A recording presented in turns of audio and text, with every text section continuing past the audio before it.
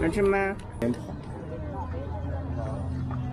remember when I was taking out the, grabbing all the bags from Elias's house and all that, and we were walking for five hours. And I was also the day I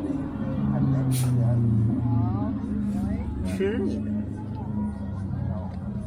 I, by the time I got home, my stomach was also a rotten and all that.